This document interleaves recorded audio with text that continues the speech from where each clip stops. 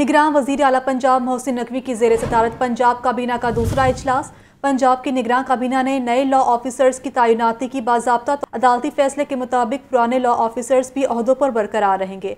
निगरान वज़ीर अला पंजाब मोहसिन नकवी का सूबे में आवाम के जानो माल के तहफ़ के लिए सिक्योरिटी मजीद सख्त करने का हुक्म। मजीद तफसीत लेंगे, लियाकत तरी से जी लियाकत। आज बिल्कुल आज से निगरान वज़ीर पंजाब सैयद मोहसन रजा नकवी की जेर सदारत ये पंजाब कबीना का दूसरा इजलास हुआ है, जिसमें पुलिस लाइन पिशावर की मस्जिद में होने वाले धमाके की शदीद मजम्मत की गई है और शोधा के लिए खसूसी दुआ की गई है। कबीना ने जो है वो शोधा के लवाकिन और खैबर पख्तूनखा के अवाम के साथ जगती कभी इजहार किया है। बुनियादी तौर पर पंजाब कबीना का जो हंगामी इजलास तलब किया गया था। उसका मकसद नगरान कबीना ने जो है वो नए लॉ ऑफिसर्स की तैनाती की बाबा तोसी करती है और अदालती फैसले के मुताबिक जो पुराने लॉ ऑफिसर लाहौर हाईकोर्ट ने बहाल किया है, वो तो पर बरकरार तो रहेंगे, लेकिन पंजाब कबीना का ये नया फैसला आया जिसके तहत पुराने लॉ ऑफिसर किसी भी केस में हुकूमत की नुमाइंदगी नहीं कर सकेंगे। अलबत् उनकी जगह पर नए लॉ ऑफिसर जो है, उनकी तोसी की गई है और उन उन लॉ को जो है वो हुकूमती केसेस में हुकूमत की नुमाइंदगी के लिए पेश किया जाएगा इस मौके पर वजी अला पंजाब जो है सी एम रजा नकवी, उन्होंने पुलिस को प्रांत को बरकरार रखने के लिए भी तमाम इकदाम की, हदायत की और कहा कि सूबा भर में दाखिली और खारजी रास्ते की सख्त निगरानी की जाए। पंजाब मीना को कॉर्पोरेट परफॉर्मेंस पॉलिसी के बारे में भी ब्रीफिंग दी गई और आगे इजलास में इस हवाले से लिया जाएगा। ठीक है, निगरान वज़ीर अला ने सिक्योरिटी मजीद सख्त करने का हुक्म दिया है। बहुत शुक्रिया, लियाकत आप हमें अपडेट कर रहे थे। चेयरमैन तरीके इंसाफ इमरान खान से सबक वजी अला पंजाब चौधरी परवेज इलाही ने मुलाकात की है। इमरान खान और चौधरी परवेज इलाही का गवर्नर की जानब से इलेक्शन की तारीख ना देने पर इजहार तशवीश। मुलाकात में सियासी सूरत हाल और आइंदा लाहे अमल पर मुशावरत हुई है। इस मुलाकात का अहवाल जानेंगे लियाकत अली से। लियाकत बताइएगा। आदमी के तीनों तरीके से इमरान के की प्रदेश में इमरान साहब की मुलाकात की जिसमें की इस मुलाकात में जो है वो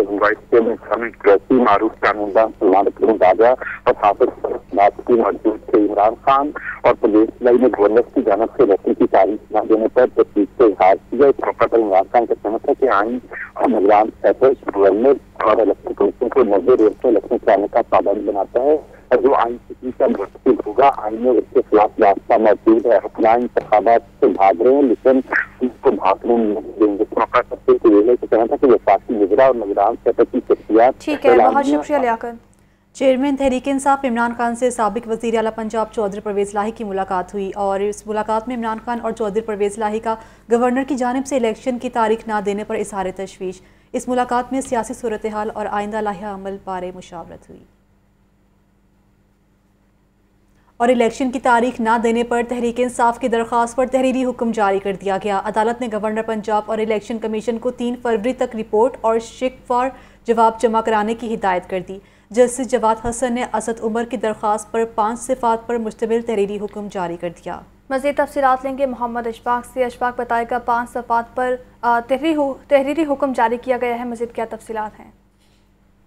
जी, बिल्कुल, लाहौर हाईकोर्ट के जस्टिस जवाद हसन ने तहरीक इंसाफ के रहनुमा असद उमर की दरख्वास्त पर पाँच सफात पर मुश्तमिल तहरीरी हुक्म जारी कर दिया है। जस्टिस जवाद हसन ने तहरीरी हुक्म में ये लिखा है कि दरख्वास्त में अहम नुकात उठाए गए हैं।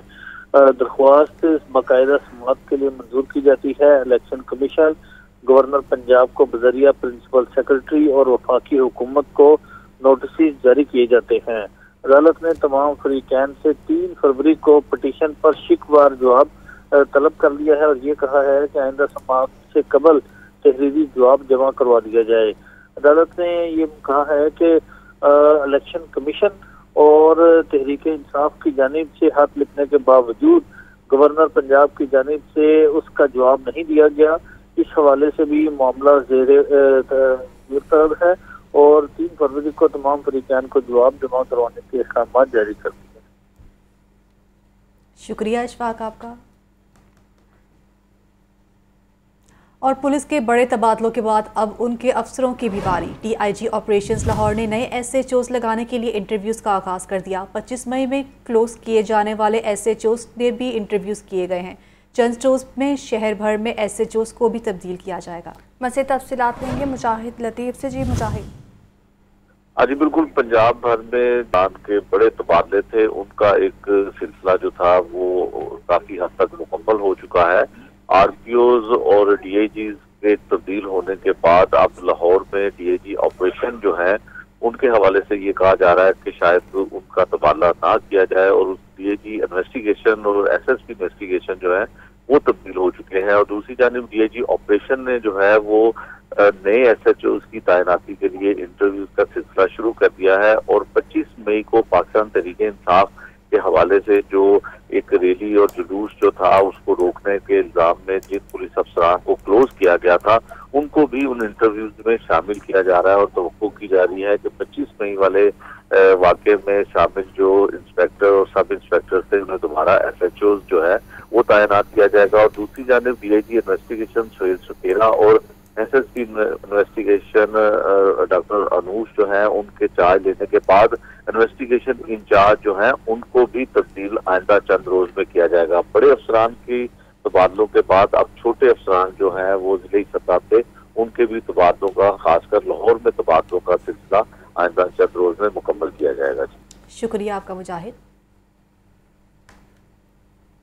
निगरान वज़ीर अला पंजाब मोहसिन नकवी की जेर सदारत आल सतह का अजलास निगरान वज़ीर अला मोहसिन नकवी का एमरजेंसी वार्ड में मुफ़्त अद्वियात की फ्राहमी यकीनी बनाने का हुक्म है। निगरान वजी अला पंजाब मोहसिन नकवी का अस्पतालों की पार्किंग में ओवर चार्जिंग पर एफ़ आई आर दर्ज करने का भी हुक्म है।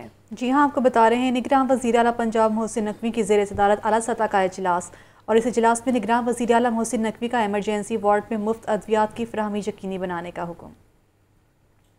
महकमा स्कूल एजुकेशन ने बोर्ड ऑफ़ गवर्नर्स और टास्क फोर्स डी नोटिफाई कर दिए हैं। महकमा स्कूल एजुकेशन ने मातहत इदारों के बोर्ड्स तहलील कर दिए हैं। पंजाब टेक्स्ट बुक बोर्ड, जबकि दानिश स्कूल अथॉरिटी का बोर्ड भी डिनोटिफाई कर दिया गया है। पंजाब एजुकेशन अथॉरिटी भी तहलील कर दी गई है। महकमे स्कूल एजुकेशन ने बोर्ड ऑफ़ गवर्नर्स और टास्क फोर्स डिनोटिफाई कर दिया जिस पर पंजाब एजुकेशन अथॉरिटी भी तहलील कर दी गई।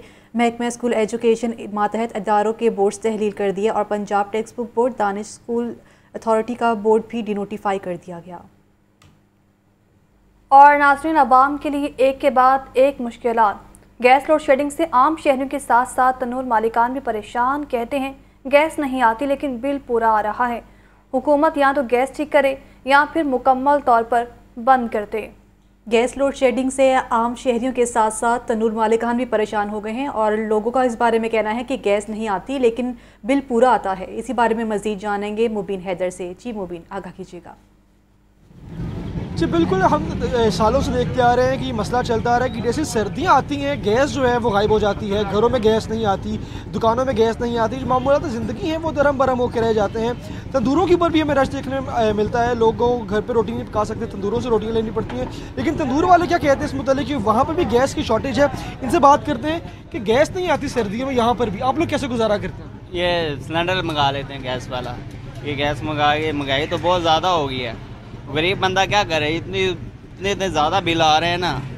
गरीब की तो कोई ज़िंदगी नहीं रहेगी। बहुत महँगाई हो रही है। गरीब जो वो तो समझ लो बिल्कुल मर गया।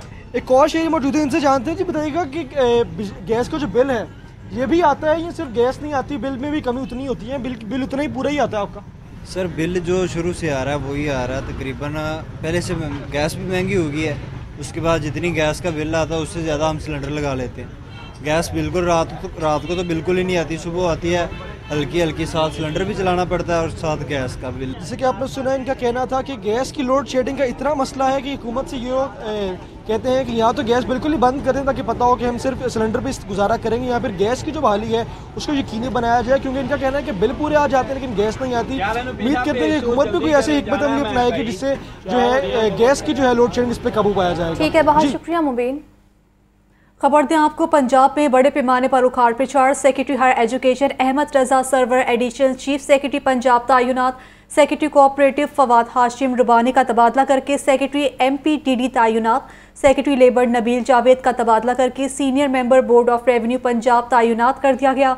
आपको अपडेट कर रहे हैं। पंजाब में बड़े पैमाने पर उखाड़ पिछाड़ का सिलसिला जारी है जिस पर सेक्रेटरी लेबर नबीर जावेद का तबादला करके senior member board of revenue Punjab तयनत कर दिया गया। मजीद तफसीत लेंगे डेप्यूटी बरस चीफ हसन रजा से। हसन बताएगा ये तबादलों का सिलसिला कब तक जारी रहेगा? देखें पंजाब हुकूमत की जानब से बड़े पैमाने पर ऑफिसर्स के तकर्र तबादले के अहकाम जारी किए गए हैं। तकरीबन पचास से जायद अफसरान के तकर्र तबादले के अहकाम किए गए हैं। Ahmad Raza Sarwar secretary higher education का तबादला करते हुए उनको एडिशनल चीफ सेक्रेटरी पंजाब तैनात किया है। सेक्रेटरी कोऑपरेटिव पंजाब फवाद हाशिम रब्बानी को अहदे से हटाते हुए उनको सेक्रेटरी एमपीडीडी तैनात कर दिया है। नबील जावेद को senior member board of revenue तैनात किया है। वकास अली महमूद को ओएसडी कर दिया है। सेक्रेटरी स्कूल से मोहम्मद एहसन वही सेक्रेटरी ट्रांसपोर्ट से इनको सेक्रेटरी पब्लिक प्रोसिक्यूशन डिपार्टमेंट तैनात किया है। मियाँ इमरान अहमद को जो कि सेक्रेटरी औकाफ से इनको ओएसडी कर दिया है। असदुल्ला फैज सेक्रेटरी एक्साइज का तबादला करते हुए इनको सेक्रेटरी लेबर तैनात किया है। शाहिद जमान सेक्रेटरी फॉरेस्ट से इनको सेक्रेटरी यूथ अफेयर पंजाब तैनात किया है।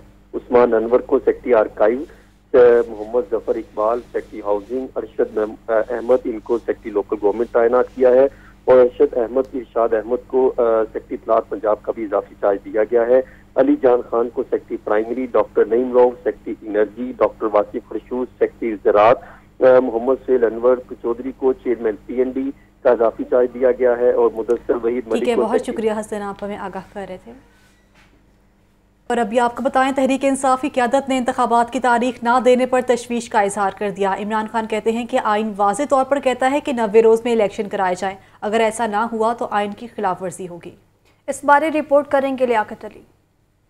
तहरीक इंसाफ के चेयरमैन इमरान खान की सर सदारत मुशावरत इजलास हुआ। इजलास में शाह महमूद कुरैशी, असद उमर फरूख हबीब और दीगर रहनुमा शरीक हुए। कौमी असम्बली के सबक अरकान की बड़ी तादाद भी मौजूद थी। इजलास में मुल्क मजमू सियासी सूरत हाल और आइंदा की सियासी हमत अमली पर मुशावरत की गई। पंजाब और खैबर पख्तनख्वा के आम इंतबात के अल्तवा पर भी तबादले ख्याल किया गया। इजलास में तहरीक इंसाफ के सीनियर रहनुमा फवाद चौधरी की गिरफ्तारी पर भी गौर हुआ। आम इंतबात के फौरी नकात के लिए आला अदलिया में दायर की जाने वाली पटिशन पर भी मुशावरत की गई। चेयरमैन तहरीक इंसाफ इमरान खान का कहना था कि सबनियाँ तहलील हो चुकी हैं। निगरान सेटअप बन चुका, लेकिन अभी तक इंतबात की तारीख नहीं दी जा रही। इलेक्शन में ताखिर आइन की खिलाफ वर्जी होगी। आपको बताएँ कि पीसीबी ने मिकी ऑर्थर के लिए चीफ ऑफ़ स्टाफ तैनात करने का फैसला कर लिया है। इस्लामाबाद यूनाइटेड के जनरल मैनेजर रियानुल हक को बतौर टीम मैनेजर तैनात करने का फैसला किया गया है और सरा के मुताबिक ये भी कहा जा रहा है कि रेहानुल हक बुनियादी तौर पर मिकी औरतर के चीफ ऑफ़ स्टाफ के तौर पर काम भी करेंगे। तफसीत जानेंगे बिलाल अकील से। जी बिलाल, बताइएगा। जी, बिल्कुल, काफ़ी अरसे से ये मामला जेर बहस है कि पाकिस्तान क्रिकेट टीम का नया हेड कोच कौन होगा और जो पाकिस्तान क्रिकेट बोर्ड की मैनेजमेंट कमेटी के चेयरमैन है, नजम सेठी, वो भी, उन्होंने भी गुजशत प्रेस कॉन्फ्रेंस में ये इंदिया दिया था कि मिक्की आर्थर से उनके रबते जो हैं वो काफ़ी हैं और इस हवाले से उनको लाया जा रहा है। तो अब जराये के मुताबिक ये बताया जा रहा है कि मिक्की आर्थर के लिए जो है वो चीफ ऑफ़ स्टाफ तैनात करने का फैसला के, इस्लामाबाद यूनाइटेड के जो जनरल मैनेजर हैं रेहानुल हक, वो बतौर टीम मैनेजर तैनात होंगे। जराये का ये भी कहना है कि रेहाना लक बुनियादी तौर पर मिक्की आर्थर के चीफ ऑफ़ स्टाफ के तौर पर काम करेंगे, जबकि पीसीबी ने मिक्की आर्थर के साथ बैटिंग, बॉलिंग, फील्डिंग, तीन असिस्टेंट कोचेज रखने का फैसला किया है। जराये का ये भी कहना है कि ग्रांट ब्रेडबन को बतौर फील्डिंग असिस्टेंट कोच मुकर करने का जो है वो फैसला किया गया है। इसके अलावा बैटिंग और बॉलिंग के लिए भी इंटरनेशनल कोचेज की खिदमात लेने का फैसला किया जाएगा। अच्छा बिलाल ये भी बताइएगा कि फ़ैसला तो कर लिया गया है लेकिन इस फैसले पर अमल कब होगा? बाकायदा तौर पर कब ज्वाइन करेंगे? जी बिल्कुल जराये के मुताबिक ये बताया जा रहा है कि यकम अप्रैल को मिकी आर्थर जो है वो अपना अहदा संभालेंगे। लेकिन अभी पाकिस्तान क्रिकेट बोर्ड बाकायदा तौर पर इसका ऐलान करेगा, क्योंकि अभी उनकी रबते जो हैं वो मजीद उनसे जारी हैं और अभी तक जो जराये के मुताबिक ये खबर सामने आई है कि उनको चीफ ऑफ़ स्टाफ तैनात करने का फैसला किया गया है। ताहम वो कब करेंगे तो जराये ने ये बताया कि यकम अप्रैल तक जो है वो जराये का कहना है कि वो मिक्की आर्थर अपना अहदा संभालेंगे। लेकिन अभी मजीद पाकिस्तान क्रिकेट बोर्ड के जो आला अहदेदार हैं वो मिक्की आर्थर से रबते में हैं और मजीद जो तफसीत होंगी उसका पीसीबी बाकायदा तौर पर ऐलान करेगा। ठीक है, बिलाल, बहुत शुक्रिया। आपको बता रहे हैं, पीसीबी ने मिकी ऑर्थर के लिए चीफ ऑफ़ स्टाफ तैनात करने का फैसला कर लिया है और इस्लामाबाद यूनाइटेड के जनरल मैनेजर रेहानुल हक को बतौर टीम मैनेजर तैनात करने का फैसला किया है। सराय के मुताबिक ये भी कहा जा रहा है कि रेहानुल हक बुनियादी तौर पर मिकी ऑर्थर के चीफ ऑफ़ स्टाफ के तौर पर भी काम करेंगे।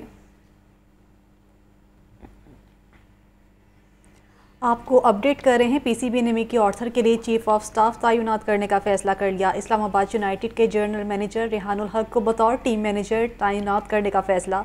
जराए के मुताबिक ये कहा गया है कि रेहानुल हक बुनियादी तौर पर मिकी ऑर्थर के चीफ ऑफ़ स्टाफ के तौर पर काम करेंगे। खबर दें आपको कामरान अकमल को पाकिस्तान जूनियर टीम का चीफ सिलेक्टर मुकर कर दिया गया। कामरान अकमल की सरबराही में सिलेक्शन कमेटी अंडर 19, अंडर 16 और अंडर 13 की टीमों का इंतखब करेंगे। पीसीबी ने कामरान अकबल की सरबराही में आठ रुकनी जूनियर सिलेक्शन कमेटी का ऐलान कर दिया। मजीद तफसरात लेंगे। बिलाल अकील से। जी बिलाल बताएगा इस बारे में? जी, बिल्कुल, पाकिस्तान क्रिकेट बोर्ड ने जूनियर सिलेक्शन कमेटी के लिए आठ मेम्बरान का ऐलान कर दिया है, जिसकी सरबराही जो है वो सबक टेस्ट क्रिकेटर और wicket keeper batter Kamran Akmal करेंगे। कामरान अकमल को जो है वो चेयरमैन सिलेक्शन कमेटी बना दिया गया है, जबकि under thirteen under sixteen under nineteen के ट्रायल्स और रीजनल और डिस्ट्रिक्ट सतह पर जो टीमों का इंतखब होगा वही आठ रुकनी जो सिलेक्शन कमेटी है वो करेगी। इस आठ रुकनी में की जो सरबराही है कमेटी की वो कामरान अकमल करेंगे जबकि दीगर जो पैनल है उसमें सोहेल तनवीर हैं आमिर नज़ीर हैं तैमूर खान जुनेद खान फैसल अतर कैसर अब्बास और सनाउल्ला बलोच शामिल हैं। और कामरान अकमल की जिस तरह से दो सौ अड़सठ इंटरनेशनल मैचेस जो हैं वो पाकिस्तान की तरफ़ से खेल चुके हैं। सुहेल तनवीर भी 121 मैचेस सुहेल तनवीर ने पाकिस्तान की जानब से खेले हैं। जुनेद खान ने भी 107 इंटरनेशनल मैचों में पाकिस्तान की मुस्लिम लीग नून की चीफ ऑर्गेनाइजर मरीम नवाज़ का यकम फरवरी से तनजीमी दौरों का आगाज़ है। मुल्क के मुख्तलिफ़ शहरों में वर्कर्स कन्वेंशन और तनजीमी इजलासों में शिरकत करेंगे। कारकुनान से खिताब भी करेंगी। रिपोर्ट कर रहे हैं सलमान तारिक। मुस्लिम लीग नून ने पार्टी के चीफ ऑर्गेनाइजर का पंजाब में दौरों का शेड्यूल जारी कर दिया। मरियम नवाज़ यकम फरवरी को बहावलपुर में वर्कर्स कन्वेंशन से खिताब करेंगी। दो फरवरी को बहावलपुर में पार्टी के तंजीमी इजलास में शरीक होंगी। पाँच फरवरी को मुल्तान में कन्वेंशन और छह फरवरी को पार्टी का तंजीमी इजलास होगा। नौ फरवरी को मरियम नवाज़ एबटाबाद में कन्वेंशन से खिताब करेंगी। दस फरवरी को एबटाबाद में पार्टी के तंजीमी इजलास में शरीक होंगी। मुस्लिम लीग नून की जानब से जारी करदा शेड्यूल के तहत ग्यारह फरवरी को इस्लामाबाद में वर्कर्स कन्वेंशन होगा। बारह फरवरी को मरियम नवाज़ इस्लामाबाद के तंजीमी इजलास में शरीक होंगी। पंद्रह फरवरी को मरीम नवाज़ डेरा गाजी खान में जलसे से खिताब करेंगी, जबकि सोलह फरवरी को डी खान में पार्टी के तंजीमी इजलास की सदारत करेंगी। उन्नीस फरवरी को रावलपिंडी में वर्कर्स कन्वेंशन बीस फरवरी को तंजीमी इजलास होगा। तेईस फरवरी को मरीम नवाज़ शरीफ सरगोदा में वर्कर्स कन्वेंशन से खिताब करेंगी और चौबीस फरवरी को तंजीमी इजलास की सदारत करेंगी। सत्ताईस फरवरी को साहिवाल में वर्कर्स कन्वेंशन अट्ठाईस फरवरी को पार्टी का तंजीमी इजलास होगा। शेड्यूल के मुताबिक गुजरावाला में वर्कर्स कन्वेंशन तीन मार्च को होगा, जबकि चार मार्च को मरीम नवाज़ पार्टी के तंजीमी इजलास की सदारत करेंगी शिखुपुरा में सात मार्च को कन्वेंशन आठ मार्च को पार्टी तंजीमी इजलास होगा फैसलाबाद में ग्यारह मार्च को कन्वेंशन और बारह मार्च को पार्टी का तंजीमी इजलास होगा पिशावर में पंद्रह मार्च को वर्कर्स कन्वेंशन और सोलह मार्च को तंजीमी इजलास होगा मरीम नवाज़ उन्नीस मार्च को लाहौर में कन्वेंशन से खिताब करेंगी जबकि बीस मार्च को तंजीमी इजलास की सदारत करेंगी मरीम नवाज़ तेईस मार्च को कोयटा जाएँगी और वर्कर्स कन्वेंशन से खिताब करेंगी चौबीस मार्च को तंजीमी इजलास में शिरकत करेंगी कराची में वर्कर्स कन्वेंशन सत्ताईस मार्च को होगा जबकि मरीम नवाज़ अट्ठाईस मार्च को तनजीमी इजलास की सदारत करेंगी। और तहरीक इंसाफ वस्ती पंजाब की सदर डॉक्टर यासमिन राशिद कहती हैं कि हुक्मरान इलेक्शन से डर रहे हैं। इलेक्शन की तारीख ना देकर आयन चिकनी की जा रही है। हमने अदलिया से रुजू कर लिया है।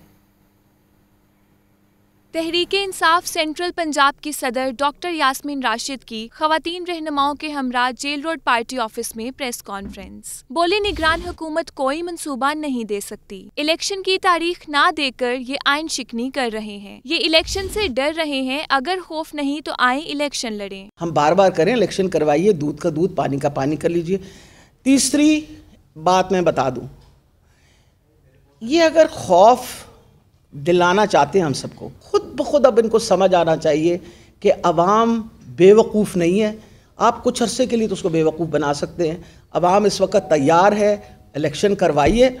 अगर आप बहुत पॉपुलर हैं तो फिर परेशानी की, की बात है। आप करिए और पर आप इलेक्शन करा के देख लें। पीटीआई वस्ती पंजाब की सदर का मजीद कहना था कि हमारे दौर में पंजाब के तमाम लोगों को 10 लाख रुपए तक की मुफ़्त तिबी सहूलत दी गई। हेल्थ कार्ड से 2 लाख लोगों ने ऑपरेशन करवाया। उन्होंने कहा कि मरियम नवाज़ आई तो पैंतीस रुपए पेट्रोल की कीमत बढ़ी। नवाज़ शरीफ आएगा तो सौ रुपए बढ़ेगी। आप नौ महीने का परफॉर्मेंस उनका देख लीजिए। उन्होंने अपने केसेस खत्म किए। कीमतें बढ़ाई। पहले आपकी वो पैंतीस पैंतीस रुपए अब माशाल्लाह मरियम नवाज़ साहिबा तशरीफ़ लाई हैं तो पैंतीस पैंतीस रुपये अब्बा जान आएँगे तो सौ सौ रुपये बढ़ जाएगा। तो ऐसे कीमतें बढ़ती रहेंगी और गरीब आदमी जो उसके ऊपर बोझ डालते रहेंगे। डॉक्टर यास्मीन राशिद ने कहा कि जब से इनकी हुकूमत आई महँगाई की शरह में 60 फ़ीसद इजाफा हुआ है। वज़ीर रेलवे ख्वाजा साद रफ़ी कहते हैं कोई एक शख्स या हुकूमत मुल्क को गर्दाब से नहीं निकाल सकती। मिलकर काम करना होगा। रेलवे को रेवेन्यू की ज़रूरत है। रेलवे में बेहतरी के लिए गुजशत दौर में चार सात मेहनत की, मगर इसके बाद खेचा तानी शुरू हो गई।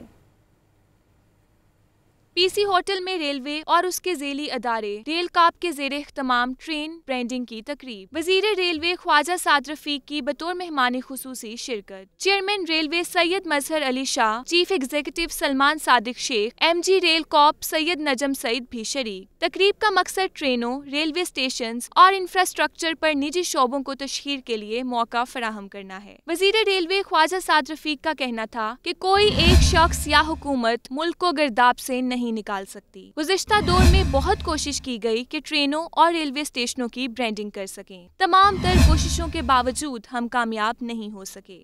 हमने बहुत कोशिश की कि पाकिस्तान रेलवेज की ट्रेन्स और रेलवे स्टेशन की हम ब्रांडिंग कर सकें और अपनी लोकेशंस को और अपने ट्रेन्स को कमर्शियल मकासद के लिए और पब्लिसिटी के लिए मुख्तलिफ़ कंज्यूमर आइटम्स की हम ऑफ़र कर सकें। लेकिन सच्ची बात यह है कि हमारी तमाम तर कोशिश के बावजूद हम उसमें कामयाब ना हो सके। ख्वाजा साद रफीक का मजीद कहना था कि हमें कोशिश करनी चाहिए कि इस मुल्क को मुश्किल से निकालें। बहुत छान फटक कर अफसर तयनात किए। वज़ीर होने के नाते मैं भी किसी काम में मुदाखलत नहीं कर सकता। हमें रेवेन्यू की ज़रूरत है। कंपनियाँ अपनी प्रोडक्ट की तशहर कर सकेंगी। हमने बहुत छान पटक फटक के दयानतदार लोगों को कलीदी पोजीशंस पर लगाया है और रेलवेज़ के अंदर बाज़ों को शायद यकीन आए और बाज़ों को ना आए, किसी तरह की कोई पॉलिटिकल इंटरफेरेंस नहीं है।